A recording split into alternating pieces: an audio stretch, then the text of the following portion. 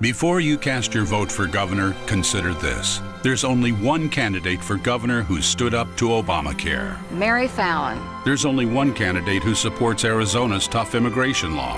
Mary Fallin. There's only one candidate with a plan to lower taxes, reduce government spending, bring new jobs, and has been endorsed by small business. Mary Fallin. You know, when it comes right down to it, I'm the only conservative. And no one will work harder for Oklahoma. No one.